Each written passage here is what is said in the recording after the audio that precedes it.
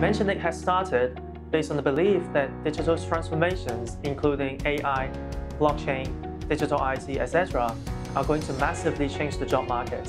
I have an academic background back to university and then I actually focus in the research in the domain of like human-machine interface and also uh, how to build AI robotics. Actually, there's a lot of talent in Hong Kong across different industries. So my vision is actually to bring up the potential in data science so that we can have more supply and, and then we can recruit more easily in Hong Kong.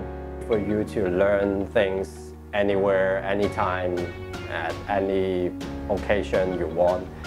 But ultimately what I want is to find a job, to, to switch a career. I'm, I'm not just learning for fun, I, I want a career here.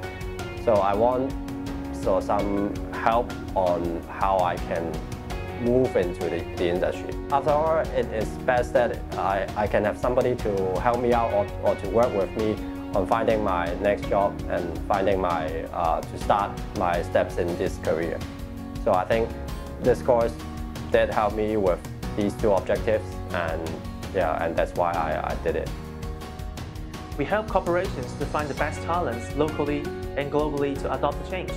At the same time, we provide learning and training opportunity on the most updated technology in the market to allow professionals at all levels to be part of the transformations.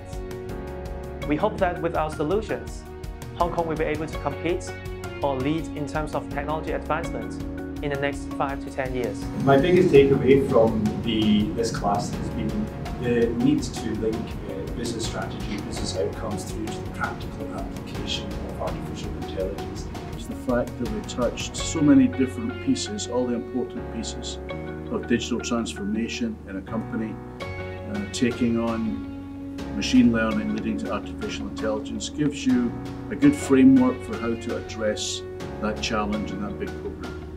In one word, I describe this training as innovative.